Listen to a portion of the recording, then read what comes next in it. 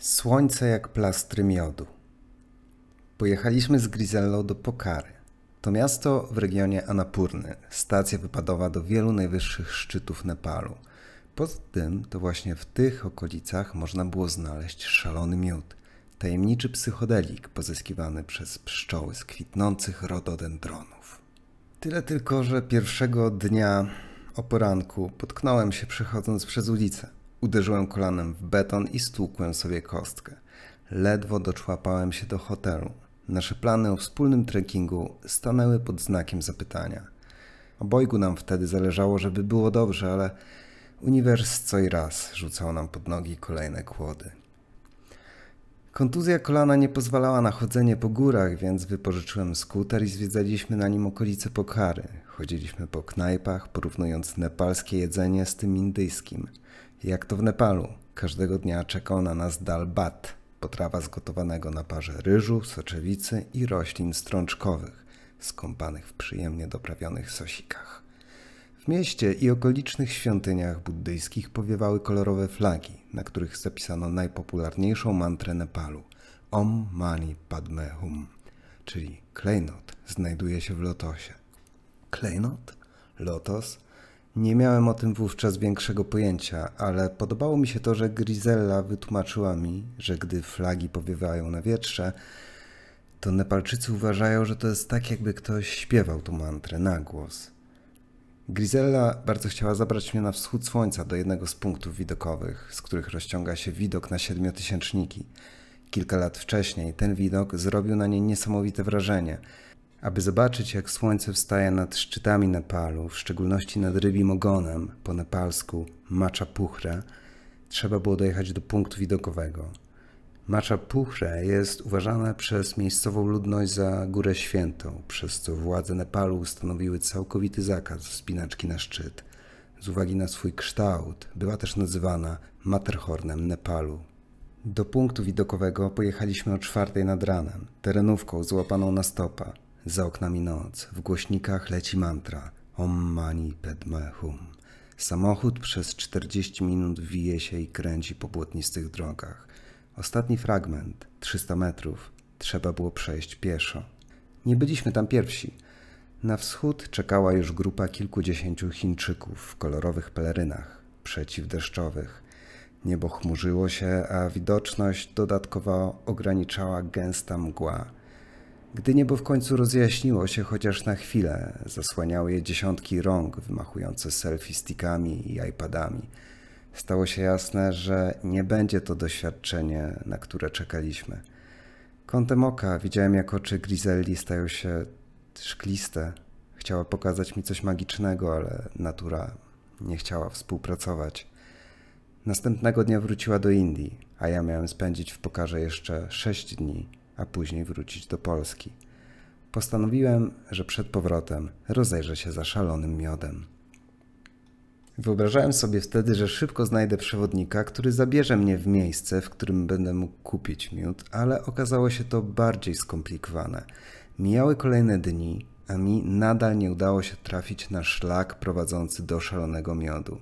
Przeprowadziłem uliczną sondę wśród właścicieli agencji turystycznych, sklepów z pamiątkami i hipsterskich kawiarni. Wyglądało na to, że miodu nie można kupić sobie po prostu o tak w sklepie, ani nawet na czarnym rynku. Był to produkt kolekcjonerski. Nieliczni łowcy miodu, którzy nadal żyją w Nepalu, zbierają go wysoko w górach, bez rękawiczek, balansując na drewnianych drabinkach i lianach w roju rozdrażnionych pszczół. Żadne z lokalnych biur podróży nie organizowało takich wypraw. To oznaczało tylko jedno: musiałem działać na własną rękę. A może ty wiesz, gdzie mogę dostać szalony miód? Mój rozmówca zmrużył swoje małe oczka, a później poprawił czapkę z daszkiem, nasuwając ją głęboko na czoło. Spod cienia wystawał mu nos, wąskie zaciśnięte usta i tłusty podbródek. Staliśmy w szopie nad jeziorem Pewa. Kupowałem od niego hasz. A więc szukasz szalonego miodu? spytał, powtarzając to, co sam mu przed chwilą powiedziałem. Tak, słyszałem, że można go dostać w okolicy Pokary. Koleś pokiwał głową. Być może mógłbym ci pomóc, bracie. Naprawdę? Zna kogoś, kto sprzeda mi miód? Ed, bo tak miał na imię, szybko pokiwał głową. Nie mogłem uwierzyć w swoje szczęście. Czyżby wszechświat znowu zaczął mi pomagać? Podekscytowany wróciłem do hostelu i tam na dachu znajdowała się taka wspólna przestrzeń, gdzie goście hostelu Purple Haze spędzali wieczory. Poznałem tam Usznisza, pochodzącego z Bengalu Hindusa, który podobnie jak ja od wielu miesięcy krążył po Indiach i w końcu trafił do Pokary. Tak jak ja, również interesował się właściwościami i pochodzeniem szalonego miodu. Stary koleś, który sprzedał mi hasz, twierdzi, że mógłby zabrać nas do kogoś, kto ma szalony miód. Powiedziałem mu, przekazując rozpalonego jointa. No nie wiem, powiedział już. Może lepiej, żebyśmy sami spróbowali odnaleźć drogę do Seaclash. Słyszałem, że wyprawy organizowane w celu pozyskania dzikiego miodu ruszają właśnie z tej wioski. Nonsens, odpowiedziałem. Ten miły chłopiec, który sprzedał mi hasz, wszystko za nas zorganizuje. Ma znajomości, oszczędzimy czas i pieniądze. Możemy z nim pojechać nawet jutro. Ty, ja i Tom. Tom był szczupłym, wesołym Anglikiem, który spał z nami w pokoju. Dwudziestoletni, uśmiechnięty i otwarty na wszystkie najgłupsze pomysły świata. Od razu się zgodził. Jedźcie sami, powiedział Usz. Ja w tym czasie rozejrzę się za opcjami transportu do Seaclash, na wszelki wypadek, gdyby wam się nie udało. Napisałem Edowi wiadomość. Odpisał, że przyjedzie po nas jutro o dziewiątej rano. Pysznie. Następnego ranka czekałem na Eda w hotelowym lobby. Spóźniał się już 40 minut. W końcu telefon w mojej dłoni zabzyczał. Ed tłumaczył swoje spóźnienie. Już tu jadą, rzuciłem w kierunku Toma, który siedział obok mnie. W końcu pod hostel podjechał Maruti Suzuki. Biały i niewyróżniający się absolutnie niczym samochód, tak jak tysiące innych Maruti Suzuki jeżdżących po Nepalu. Na tylnej kanapie siedział nasz przewodnik, Ed, w czapce nasuniętej głęboko na oczy. Nieco mnie zdziwiło, że ma ze sobą dwóch kumpli. Jeden, wysoki i postawny Nepalczyk z blizną na twarzy, siedział za kierownicą. Drugi, absolutnie nie wyróżniający się niczym, zupełnie tak jak Maruti Suzuki, siedział na przednim siedzeniu. Wcisnęliśmy się z Tomem na tylną kanapę, obok Eda. Samochód ruszył. Po pięćdziesięciu metrach zatrzymał się jednak w pyle piachu pod ulicznym kioskiem. Ed poprosił, żeby Tom otworzył okno. Tom zakręcił korbką i otworzył je. Wtedy Ed wyjrzał przez okno i rzucił do kobiety w kiosku. Surya Light! Następnie odwrócił się do Toma. Masz jakieś drobne? Tom pokiwał od razu głową i dał mu 50 rupii. Ed łapczywie je od niego odebrał. Z kiosku wysunęła się ręka z resztą i zapalniczką. Ed włożył sobie swoją nową zapalniczkę do kieszeni, razem z resztą. Później uśmiechnął się do nas z wdzięcznością. Żaden problem, odpowiedział Tom, zadowolony, że mógł pomóc koledze w potrzebie. Wyjechaliśmy z miasta przez duże skrzyżowanie. Suzuki Maruti zatrzymał się wtedy na stacji benzynowej Esso. Przed dystrybutorami stał reklamowy baner, na którym rysunkowy tygrys wlewał benzynę do baku, mówiąc: Do baku wpuść tygrysa. Miałem nieodparte wrażenie, że gdzieś już to widziałem. Ed spojrzał na nas i powiedział: Chłopaki, musimy zatankować, żeby nie zabrakło nam benzyny. Pokiwaliśmy głowami. Ed wysiadł z samochodu, stanął przy dystrybutorze i otworzył wlew do baku. Następnie zwrócił się do nas przez otwarte okno. Macie może tysiaka pod ręką? Tom sięgnął do portfela i podał mu banknoty. Ed przyjął je z wdzięcznością i zaczął lać benzynę. Zaraz się okaże, że mamy kupić im obiad, szepnąłem do Toma. Miejmy nadzieję, że miód jest tego warty, odpowiedział Tom. Ed zatankował do pełna i wsiadł do samochodu. Ruszyliśmy ze stacji. Y, słuchaj, Ed, y, umawialiśmy się na dwa tysiące za całą tą wycieczkę, tak? Y, rzuciłem od niechcenia. Co tam mówisz, bracie? Umawialiśmy się na dwa tysiące za całą wycieczkę, prawda? Coś takiego, bracie, coś takiego. Coś takiego? Cholera, dopiero co wyjechaliśmy z Pokary, a już jesteśmy tysiaka i zapalniczkę w plecy. Słuchaj, bo dostałeś od nas tysiąc, czyli odliczamy ten tysiąc od tych dwóch tysięcy, zgadza się? Ed natychmiast zaczął mydlić nam oczy.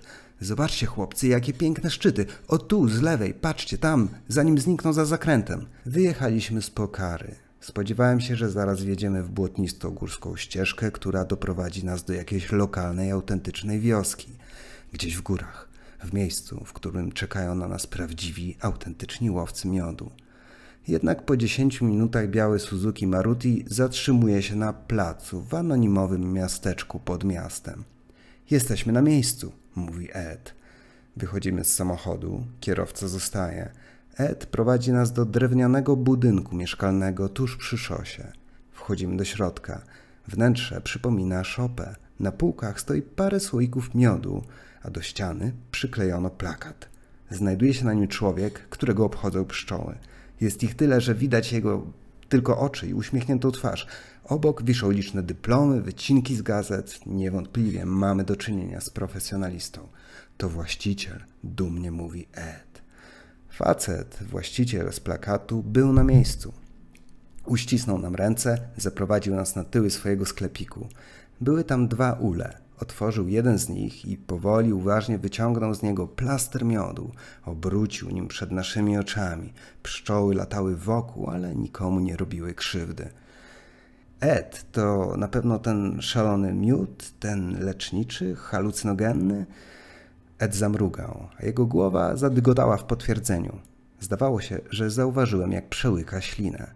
Zaczął tłumaczyć, że to ten sam miód, tyle że nie od dzikich pszczół, tylko od innych. Chcę mu wierzyć.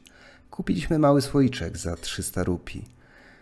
Ed, ale to miejsce to tylko przystanek na trasie, prawda? Bo chcieliśmy zobaczyć dzikie pszczoły, pamiętasz? Ed nie wydawał się zmieszany. Od razu odpalił plan B. Żaden problem, bracie. Wszystko zobaczycie, ale po to musimy pojechać w jeszcze jedno miejsce. Zaczął rozmawiać z właścicielem pasieki w lokalnym języku, a później odwrócił się do nas. Mój przyjaciel pojedzie z nami i pokaże wam to, czego szukacie. To, czego szukamy? Jak daleko stąd? Bardzo blisko, bracie, bardzo blisko. Spojrzałem na Toma, pokiwał głową. Dlaczego nie? Pszczelarz w odróżnieniu od Eda wyglądał jakby na czymś się znał, więc wcisnęliśmy się do samochodu. Ja, Tom, Ed, jego dwóch kumpli i właściciel pasieki, który z braku miejsca usiadł nam na kolanach na tylnej kanapie. Kierowca puścił kawałek country i ruszyliśmy w drogę. Pszczelarz dawał mu znaki lewo, prawo, znowu prawo i po dziesięciu minutach znaleźliśmy się na polanie pełnej rododendronów. Pszczelarz wyskoczył z samochodu jak z procy i zaczął pokazywać nam rosnące na łące kwiaty. Mówił, że dokładnie takie same rosną w górach. Przynajmniej tak tłumaczył to Ted. Zerwał jeden z nich i przyłożył mi go pod nos. Masz, powąchaj, zobacz jak ładnie pachnie. Miał delikatne płatki w wielu odcieniach różu, od bardzo intensywnego, niemal czerwonego do pastelowego, pudrowego. Ed, powiedz pszczelarzowi, że to piękne kwiaty, ale my szukamy szalonego miodu, narkotyku, którego przedawkowanie grozi 72-godzinnym paraliżem ciała. Podobno można od niego oszaleć. Czy to na pewno to? Pszczelarz rozłożył ręce. Nie był w stanie dla nas zrobić nic więcej, więc powiedziałem Edowi, żeby odwiózł nas z powrotem do hostelu. Wydawał się nieco zbity z tropu, ale tylko przez chwilę. Szybko wpadł na nowy pomysł. Chłopaki, dobra, ale pojedziemy jeszcze na jedną górę. Tam możecie zobaczyć prawdziwe dzikie pszczoły. Na jaką znowu górę? spytałem. Tu zaraz, obok jeziora. Zrobicie tam świetne zdjęcia. Ach, skoro już tu byliśmy, postanowiliśmy dać Edowi ostatnią szansę. Pszczelarz został na polu z obumierającym kwiatkiem w ręku, a my wsiedliśmy do białego Maruti Suzuki. Przez całą drogę Ed, jego kumpel blizna i trzeci, anonimowy, do nikogo niepodobny kolega, rozmawiali ze sobą po nepalsku. Miałem dziwne wrażenie, że o nas. Wydawało się, że doszli do jakiegoś kompromisu – gdy wysiedliśmy z samochodu, skinął głową w kierunku góry porośniętej sporym kawałkiem dżungli. Dobra, skoro nie mamy szans na prawdziwą, autentyczną wioskę z prawdziwym miodem, to chociaż zobaczymy pszczoły na tej górze. Zrobimy fajne zdjęcia, myślałem sobie. Wąska ścieżka na klifie wiodła przez las. Była stroma, a ponieważ niedawno spadł deszcz, również błotnista, śliska. Pierwszy szedł Ed, później ja, za mną Tom. Korowód zamykał blizna. Ed wspinał się właśnie na skalną półkę i jedną z rąk odginał konar. Uważajcie na pijawki, rzucił Ed. Wydawało mi się, że przez ułamek sekundy na jego ciasno ściśniętych ustach zagościł uśmieszek. Spojrzałem w szeroki uskok po mojej lewej stronie. W oddali, w popołudniowym słońcu, migotała tafla jeziora. Gdybym spadł, znalezienie mojego ciała zajęłoby prawdopodobnie wiele dni. Z każdym kolejnym krokiem nabierałem przeświadczenia, że kontynuowanie tej wspinaczki to kiepski pomysł. Decyzja podjęta siłą rozpędu, niepoprzedzona głębszą refleksją, zgodziłem się, bo rozpaczliwie chciałem wykonać misję, zużywając na nią jak najmniejszą ilość energii. Szczytna idea, ale nie przystająca do rzeczywistości. Ta po raz kolejny nie chciała nagiąć się do moich roszczeń. Stanąłem na płaskim, wilgotnym kamieniu. Ed, cholera, zapomniałem gimbala z samochodu. Muszę po niego wrócić. Ed spojrzał na bliznę. Blizna spojrzał na Eda. Blizna ma ze sobą selfie sticka, powiedział Ed. Spojrzałem na bliznę. Podniósł w górę selfie stick. Kurde, Ed, ale chciałbym zrobić panoramiczne zdjęcie, powiedziałem uśmiechając się przepraszająco. Słuchaj, naprawdę zależy mi na dobrych fotach. To zajmie tylko chwilkę. Na szczęście nie zdążyliśmy wejść zbyt głęboko w las. Okej, okay, bracie, odpowiedział Ed. Zaczęliśmy się cofać. Kątem oka zerknąłem na Toma. Dyskretnie sięgnąłem do plecaka, wyjąłem z portfela tysiąc rupii i włożyłem je sobie do kieszeni. Gdy wyszliśmy z lasu i znaleźliśmy się z powrotem na parkingu, zatrzymałem się. Spojrzałem na Eda i powiedziałem: Ed, teraz się rozejdziemy. Wyjąłem z kieszeni zmięty banknot. To za fatygę. Ed wyglądał na zmieszanego. Najwyraźniej nie spodziewał się takiego obrotu sprawy. Rzucił coś po nepalsku do swojego kumpla blizny, ale ten tylko wzruszył ramionami. Później spojrzał na mnie. Nie bracie, nie możesz teraz odejść. Musisz zobaczyć pszczoły. Ed, obawiam się, że pszczoły obejrzycie sobie sami. Skierowałem wzrok na zmięty, naderwany banknot dyndający na wietrze. Dalej trzymałem go w palcach. Pozwoliłem sobie odliczyć koszty paliwa i zapalniczki. Biorąc pod uwagę fakt, że Ed prawdopodobnie złamał dane słowo przynajmniej 100 razy w ciągu tego dnia i przynajmniej 52% szansy na to, że chciał pokazać nam pszczoły na dnie jeziora, uważałem, że to hojna oferta, być może nawet zbyt hojna. Ed wyciągnął rękę po banknot i odruchowo podniósł podbródek do góry. Wtedy po raz pierwszy zobaczyłem pod czapką jego oczy. Były całkowicie czarne, pozbawione białek. Zamiast źrenic płonęły tam dwa rozpikselowane, ciemno-pomarańczowe płomienie. Ed chwycił pieniądze. Blizna szturchnął go w ramię i warknął coś po nepalsku. Jeszcze tysiąc dla mojego kolegi, oznajmił Ed, naciągając sobie czapkę z powrotem głęboko na oczy. Straciłeś szansę na premię, nie spychając nas z tego klifu, frajerze, powiedział Tom, który właśnie wybudził się z trybu drzemki. Cholera, nie znałem go od tej strony. Chłopak miał jaja wielkości całego West Ham United. Ed nie zrozumiał. Zapewne przez wschodnio-londyński akcent Toma spojrzał na mnie. Co on powiedział? Że będziecie musieli się podzielić tym tysiącem, Ed. Ed wypuścił z nosa powietrze i wydał wargi, jak rozjuszony na korydzie byk. Spojrzałem na Toma. Nie czekając na dalsze reakcje, ruszyliśmy w kierunku głównej ulicy. Ed i Blizna nie ruszyli za nami z miejsca. Po paru chwilach odwróciliśmy się. Blizna coś wykrzykiwał, Ed wymachiwał rękoma. Blizna wyrwał Edowi banknot z ręki. Ed wtedy sięgnął za pas, wyciągnął z za spodni spluwę i strzelił do blizny. Blizna upadł na chodnik, łapiąc się za bok. Zielonkawy płyn przeciekał mu przez palce. Kałuża na betonie powiększała się. Ed stanął wtedy obok, tak żeby nie ubrudzić sobie butów i schylił się, aby wyciągnąć bliźnie z dłoni banknot, który tam nadal trzymał. Wtedy Bizna złapał upuszczonego na beton selfie i szybkim, gładkim, eleganckim pchnięciem przebił nim Edowi gardło. Ed złapał się za nie i zaczął słaniać się na nogach. Z przebitej tętnicy szyjnej zaczęły tryskać piksele krwi. Selfie stick dalej tam krwił, wbity jak włócznia. Ed upadł w końcu na kolana i zwalił się na bliznę. Wyglądali jak obejmujący się kochankowie. Trzeci członek zespołu, ten nieprzypominający nikogo i niczego nieświadomy, nadal siedział w białym Maruti Suzuki i oglądał mecz krykieta. Nepal przegrywał z Indiami 0 do 2. Znaleźliśmy się w małym miasteczku nad jeziorem Begnas, tym samym, nad którym znajdowała się pasieka naszego przyjaciela pszczelarza. Skoro już tu jesteśmy, to może przejdziemy się po okolicy, zaproponował Tom. Dlaczego nie? Stan mojego kolana poprawił się i chodzenie nie stanowiło już większego problemu. Ruszyliśmy przed siebie asfaltową drogą. Wspięliśmy się na starą latarnię stanowiącą jeden z punktów widokowych. Rozciągał się stamtąd wspaniały widok na mieniącą się wieloma odcieniami zieleni Dolinę Pokhary, na jezioro, na okoliczne wzniesienia i góry. W pewnym momencie przy drodze spostrzegłem blaszany znak wbity w ziemię. Przedstawiał żółtą strzałkę na niebieskim tle. Napisano na niej Vipassana Meditation Center. Strzałka kierowała podróżnych na kamienne, porośnięte mochem schody prowadzące do lasu. Tom rozmawiał przez telefon i dałem mu znać, że zaraz wrócę, tylko zobaczę, co tam jest.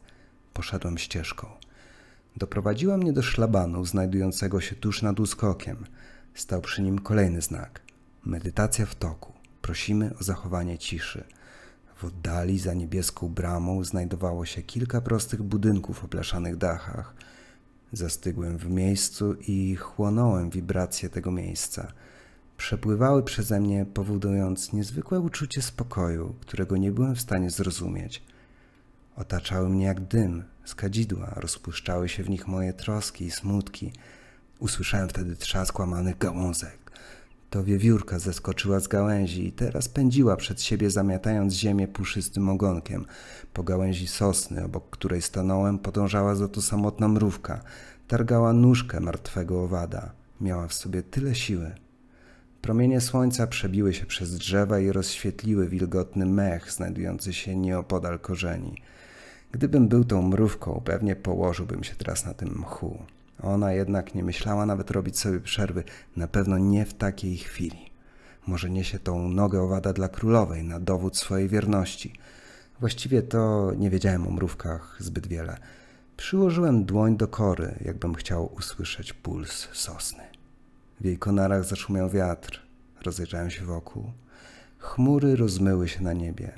Wiatr szumiał w wysokich drzewach i rozchodził się stamtąd widok na ośnieżone szczyty, oblane złotem, przesiąkniętym tonami czerwieni i fioletu.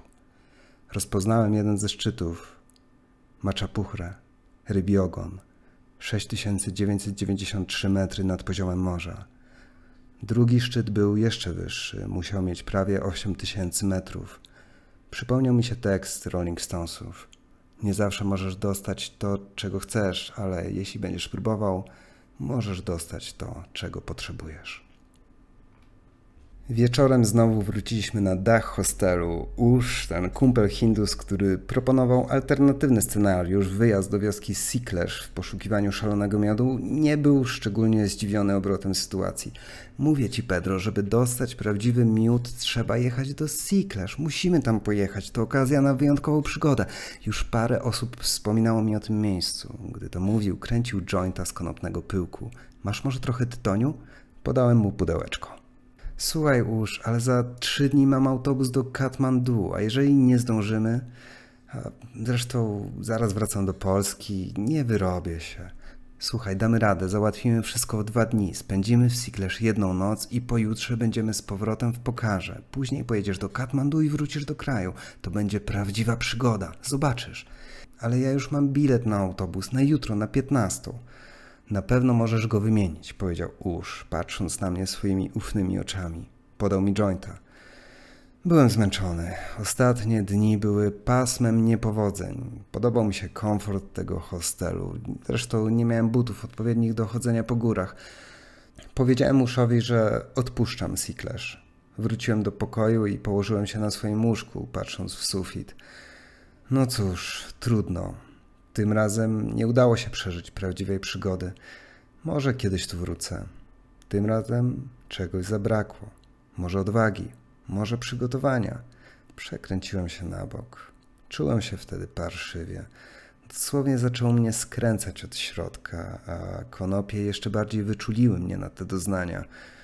Były to moje własne emocje, duszące się we mnie jak rozgotowana ryba. Wrócę do Katmandu, powłóczę się po sklepach, kupię sobie szalik z alpaki, wrócę do Polski, pokonany.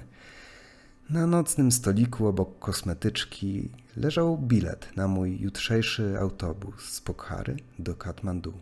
Skapnęło na niego trochę płynu do mycia twarzy. Przestawiłem płyn i wytarłem bilet rożkiem ręcznika, a później mnie trafiło. Naprawdę pozwalam się kontrolować temu świstkowi papieru? Zostały mi 72 godziny do odlotu, więc może Usz ma rację, może nie wszystko stracone. W mgnieniu oka wyskoczyłem z łóżka jak z procy i nie mówiąc nic Uszowi, pobiegłem do agencji turystycznej Lakshmi, znajdującej się w drewnianym budynku przy głównej drodze nieopodal hostelu. Zostało 10 minut do zamknięcia. Dokładnie tyle, ile potrzebowałem, żeby przebukować bilet do Katmandu na kolejny dzień. Zapukałem w szybę. Możesz zmienić bilet, tyle że, tyle że, tyle że autobus będzie bez klimatyzacji. Została tylko klasa turystyczna. Jasne, nie ma problemu. Biorę. Agent zastukał w klawiaturę komputera i wyrzucił z drukarki nowy bilet. Następnego ranka ruszyliśmy w podróż do Siklesz. To była podróż, której żaden z nas nie zapomni do końca tego życia, może nawet dłużej. Prawdziwa przygoda w samym sercu nepalskich szlaków, do którego jakimś cudem dostaliśmy się bez oficjalnych pozwoleń. Nie było na to czasu. Czy znaleźliśmy miód? Hm. Możecie się o tym przekonać, oglądając sobie film, który umieściłem na swoim kanale na YouTubie. Znajduje się tam również bonusowy odcinek z Edem w roli głównej. Zerwany łańcuch. 72 godziny później byłem w Warszawie. Miałem nieodparte wrażenie, że na niemal wszystkich przystankach autobusowych widzę ten sam plakat. Nie żartuję. Był to plakat nowej komedii romantycznej, która właśnie wchodziła do kin. Miała tytuł Niedobrani. Plakat przedstawiał Seta Rogena, stonera z gęstą brodą w czapce z daszkiem przekręconej na bok i uśmiechem rzeźmieszka oraz elegancką jak paryskie noce Charlize Theron czerwonej wieczornej sukni z diamentowymi kolczykami wbitymi w uszy i wysoko podniesionym podbródkiem kobiety z sukcesu. To byliśmy my. W strugach deszczu czekałem na autobus 111 i patrzyłem na ten plakat, słuchając Fleetwood Mac, który w moich uszach brzmiał jak ponure proroctwo. Ciągle słyszę, jak mówisz, że nigdy nie zerwiesz łańcucha, nigdy nie zerwiesz łańcucha. I tak, jednej lipcowej nocy, kiedy wróciłem do domu w środku nocy po paru piwach, stało się coś szczególnego. Przez cały dzień miałem parszywy nastrój i wyszedłem na piwo z przyjacielem, żeby tymczasowo zatopić smutki w alkoholu. Rano obudziłem się w łóżku sam, bez kołdry, mimo że wtedy do Polski przyleciała już Grizella. Wyszedłem do sypialni, zobaczyłem ją tam. Leżała w pościeli na kanapie. Spojrzałem na nią pytająco: Dlaczego nie spałaś w łóżku? Powoli podniosła swoje powieki i spojrzała na mnie. Wyglądała na zlęknioną. Nic nie pamiętasz? Nie, nie pamiętam czego. I wtedy Grizella opowiedziała mi wszystko. Przyszedłem w środku nocy. Chrapałem. Gdy spróbowała mnie uciszyć, podniosłem się z łóżka. Wstałem z łóżka i... Grizella wzięła długi wdech. Powiedziałeś, będę robił to, na co mam ochotę. Wyciągnąłeś fiuta i wysikałeś się na łóżko. Całe oczy miałeś czarne. To było przerażające, powiedziała. Jakbyś to nie był ty. O, fuck. A jednak, to byłem ja. Zdążyłaś uciec? spytałem przerażony. Tak, zabrałam kołdrę i położyłam się w salonie. A, a, a co ja zrobiłem? Położyłeś się spać. Ciarki przeszły mi po plecach. Nie pamiętałem niczego, ale pod skórą z jakiegoś powodu czułem, że to prawda. Dzięki studiom archetypów Karla Junga zrozumiałem, do czego doszło. Władzę nad moją świadomością przejął cień. Racjonalny umysł, zagłuszony alkoholem, tymczasowo się wyłączył. Cień? spytała Grizella. Jaki znowu cień? Cień to ciemna strona osobowości, stłumione ja, archetypowy program, który powstaje z wypartych emocji. Dla pewności wszedłem na Wikipedię. W koncepcji struktury osobowości Karla Junga cień przybiera kształt kompleksu emocjonalnego, autonomicznej osobowości zdolnej zakłócić procesy świadome. Jego wpływ doświadczany jest w stanach obniżonego progu świadomości spowodowanego afektem, alkoholem lub środkami narkotycznymi. Przeżywany jest jak lęk, poczucie winy, poczucie mniejszej wartości lub agresja. Rozpoznanie cienia i jego włączenie w strukturę osobowości jest wstępnym warunkiem procesu indywiduacji. Co to proces indywiduacji? To proces rozwoju psychicznego człowieka, stawania się tym, kim możesz być. Spojrzałem w ciemną otchłań, a ona spojrzała we mnie. Nieświadome stało się świadome, chociaż tylko na chwilę. Tygodnie, miesiące niezrozumiałych huśtawek nastrojów wtedy stały się dla mnie zrozumiałe. Bezsenne noce w Bombaju. Wszystko to miało swoją przyczynę. Wyparte emocje. Mimo, że wcześniej zdawałem sobie sprawę z istnienia archetypu cienia, to dopiero to doświadczenie uświadomiło mi jego prawdziwą moc. Paradoksalnie to doświadczenie zbliżyło nas do siebie, chociaż na krótką chwilę. Stanęliśmy wtedy naprzeciwko siebie nadzy, prawdziwi bezbronni. W końcu, po tylu miesiącach udawania, że wszystko jest w porządku. Minął tydzień lub dwa, a dystans między nami znowu się powiększył. Rozmowy znowu stały się mechaniczne, nieco sztuczne, a przygnębienie powróciło z bardzo silną mocą. I wtedy z wizytą wpadła do mnie Agata, moja wieloletnia przyjaciółka. Agata szkoliła się na psychoterapeutkę i przyniosła mi tego dnia w prezencie małą książeczkę o pracy z ciałem. Podziękowałem jej i położyłem ją na kanapie.